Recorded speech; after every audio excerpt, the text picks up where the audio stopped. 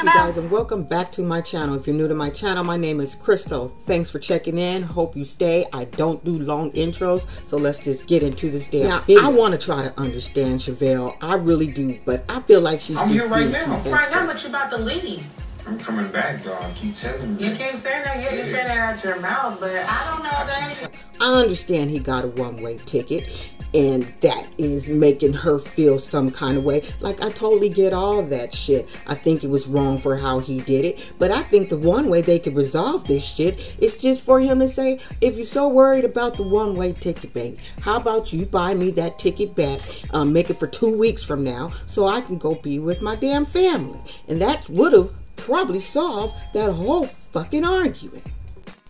Chevelle, you had to be in a big hurry to watch his ass pack that you did not put no you did not put no lotion on your elbows. You knew you should have put some lotion on your elbows, Chevelle. That shit wasn't correct. I wasn't correct, girl. You need to do better. I'm not doing that. Now, back to the real issue here. This girl has known him for what? Two years? Two years? He's known his family his whole life. Like he said, my family did those 12 years with me. I deserve, and they deserve to see him. He deserved to see them. I don't see what the fucking big issue is. Like I said, I understand he did the one-way ticket. I, I actually, fuck that. I do know what the issue the issue is for Chevelle is not that he's leaving, is that she knows the mama want to keep his ass there. That's what the issue is. She knows the mama gonna have him doing everything and anything in her power to keep him there, from finding him a job and finding him a new piece of ass to deal with. She knows that, so that's what she afraid of. Not that she don't trust him. She know the mama and the sisters is gonna be on some fuck shit. So this is this is what they so they and they already told me that they wanted you to come out there. They wanted you to you know they wanted you to be there. You can make it happen right here. But like I said, I understand. Got a one-way ticket. I need a moment to figure it out. Figure what out? Can I just say this? Thank you, someone, for telling me that that person in my last video that I did on them was him. I don't like all the dreads in his head. I like the little tighter, simple look where I can see his part because damn face too damn small for all that damn hair. It's too small. And hair's not my patch, you know what I'm saying? And girl, I don't know. Um, I guess the barbershop that his mama hooked him up with, the little man, is probably where he got the idea to put all that shit in his teeth. Cause you see, the barbershop man can barely speak his damn I want my son to see you. You got time to talk to him about the business? That's like, give me a cigarette though. Okay. But I do kind of understand what he's saying. But I'm pretty sure that's where he got the idea to put a whole bunch of shit in his mouth. My son did that shit. Before he went to prison, he had a short little haircut, wearing little polo shirts and shit. Now you see his ass, he got dreadlocks and gold teeth. I said, if you don't take that shit out your mouth, they do not have a dental plan in prison. They do not have a dental plan in prison. Finally, he took that shit out of his mouth. I told him, you just look stupid with that shit. You from fucking San Diego. You ain't from the South, nigga. Every time. I told you, every episode she go bring up the fact when you was in jail. It's like, damn, Chevelle, he is gonna be a family. Let that boy go see his mama and his people. He been with you the whole time. They should be pissed, jealous of you. You've hogged up all of his damn time. You might understand how you not understanding where I'm coming from. But you know, you can Because you talked a good game when you was in jail, basically saying that we was gonna be a family and start our journey, and I don't feel like we are. So let him go visit his people. I don't understand why.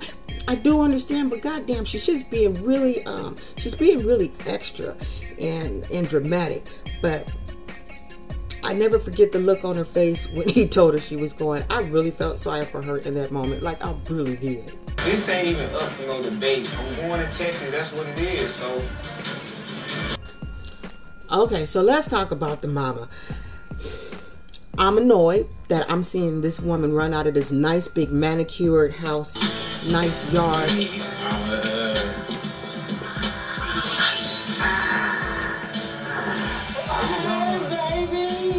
Like nice neighborhood, and she got on that fucking wig. Stop cussing.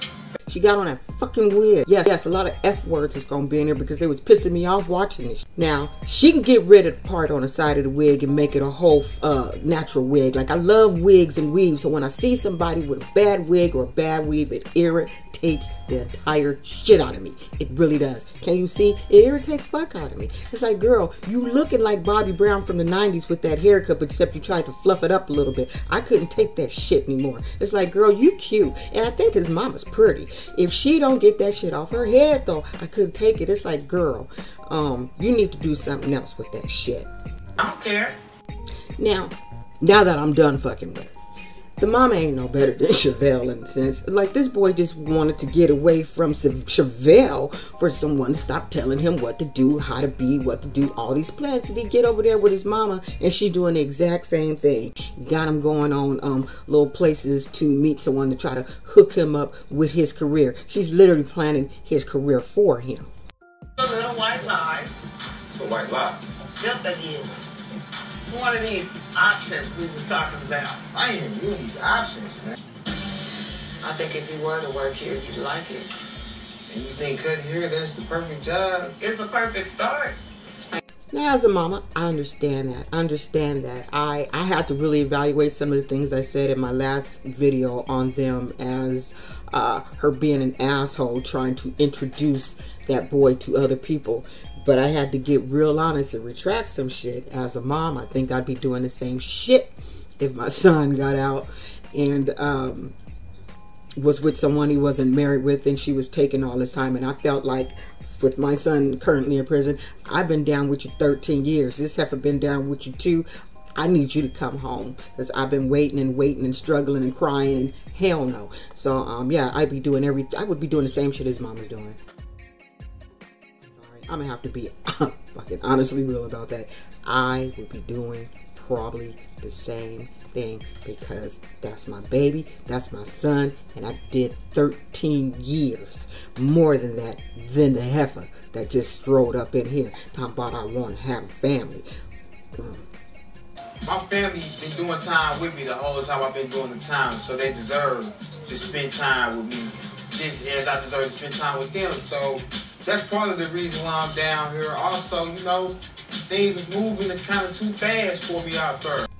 Um, I feel sorry for Quaylon because he's just being dragged in both directions. He just want to be in a place where he can get his head thoughts together as what he wants to do and how he wants to do it. And I wish they would give that boy the opportunity and time to figure out what the hell he wants to do with his life um, and where he wants to spend his life. It's clear, clear that he wants his family together, you know, and I can understand that. I think he loves Chevelle. I really do. Um, he definitely appreciates what she's done for him. And I have to give kudos up to Chevelle too to hold him down. I gotta give her that. We all gotta give her that. But he still need time to make his own decisions to see where he wants to be. So if they do decide to get together, this could be something that's gonna last and not end. That's all I'm saying. So Chevelle, you need to light the fuck up and let him, you know, take his little trip, be with his family, assess his feelings. You know, why when a man tell a woman how he feels, she get all up in her feelings about that shit. And that's why men don't want be wanting to tell women shit. Because when they when they're honest the woman didn't hear what she wanted to hear. So now she's in her fucking emotions. I've been that way. That's why i say that shit. So she needs to fall the hell back and relax. The mama needs to fall the hell back and relax. I'm the mama like I said, as a mama, we got plans. So we just love our kids and we want them to make it. And we don't want no outside interference. And that means the new bride, if we feel she's not for you. Um, but we can't really say Chevelle is not for him. Um, she loves him. And she I'm and basically, you're leaving. I'm doing this because I want to. Right, but you're leaving me and Maila. But when you were in jail, you basically said that we was gonna be a family and we was gonna start out. But now you're going to Texas and she wants a father for her child. So, you know, can't fault her for wanting those things out of life. You know, I really can't. I just hope they shit get, they get it together. But we got more to see from this damn couple. We do. We got a whole lot more to see from this damn couple. I swear, you guys, watching this episode, it kind of reminded me of my family dynamics with my son who's soon to be out. He's been sending this shit home and everything. But he also has a little sister that um, is now grown, but was a little sister when he went in. So just watching that just reminded me of the um, when I took my daughter to see her brother. Uh, that was like two, three years ago, and he hadn't seen her since she was like a little kid. So to see that, it just reminded me how their relationship is going to be when they get out, because that was her boo boo, and he did anything to protect her when um, he was out in this world when they were kids. So I totally get it, and I understand the mama saying go out there and, and, and explore your options. Yeah, he should explore his options. He should explore his options. I'm not saying go out there putting this little penis and everything. That's not what I'm saying when I say explore your options. But see how you feel. And if it's right and he's missing Chevelle, he gonna go back. But I think he gonna try to ask Chevelle to move to Houston. What do you guys think? I think he gonna try to ask her to move, move to Houston. Hell, I'm surprised Chevelle ain't even ain't, uh, packed up her shit and on her way now. But whatever. Uh, she said she ain't gonna wait though. She said she ain't gonna wait if he gonna come back. But it's like stop making that boy feel guilty for wanting to see his fucking family, Chevelle. If you see this video, stop it. You need to relax, and I hope he does come back to you. Um, apparently, him proposing that dude that I thought was a whole nother dude is your man. So apparently he gonna come back. Please put his hair back the way it was. I don't like that new dreadlock look. He looked funny. He looked like it smelled. I, I don't like it. I don't like I don't like it. Anyway, you guys, I will see you with my next video on John and Destiny um, shortly. Love you guys. Don't be an asshole. Have a great Sunday. Bye. Nobody.